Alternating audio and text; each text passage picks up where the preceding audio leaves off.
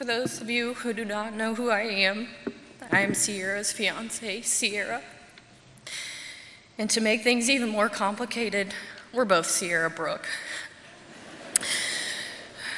And would have both been Sierra Brooke Burton on our wedding day. One question we always got asked was, how do people separate you guys or know who's talking to who?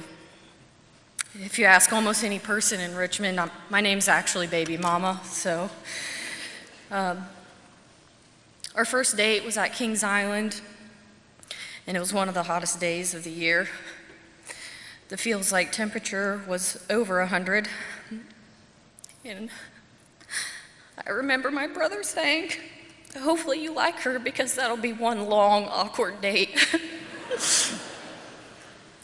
we spent eight hours together and still didn't want to leave.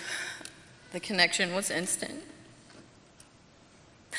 Trying to write this speech, I honestly had no idea where to start or what to say.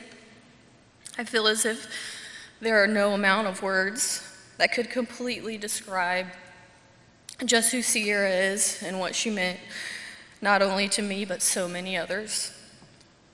Seara was the kind of person who brought joy wherever she was, and whenever she's around you, you're guaranteed to laugh and smile. I remember standing in the kitchen with her at the beginning of our relationship and having a conversation with her discussing the dangers of her career and she asked me if I was willing to accept that being with an officer. I told her I would completely support her in her career, but even in that moment, I still felt there's no way something like this could happen to such a wonderful human. Even standing here right now, it still isn't real.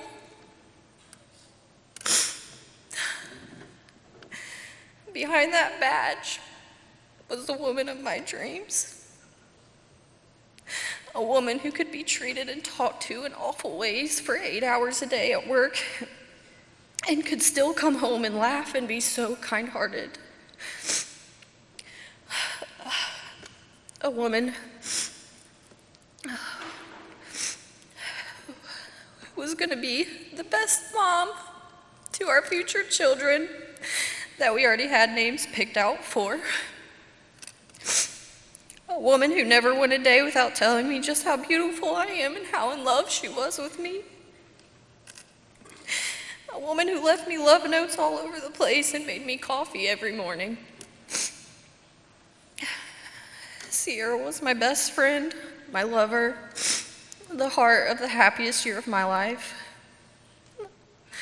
I feel an emptiness without her here, but I will forever be thankful for the purest love she gave me and the wonderful family and friends she has that have become mine.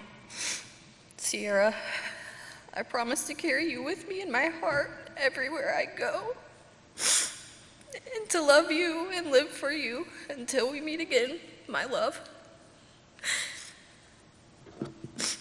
Thank you.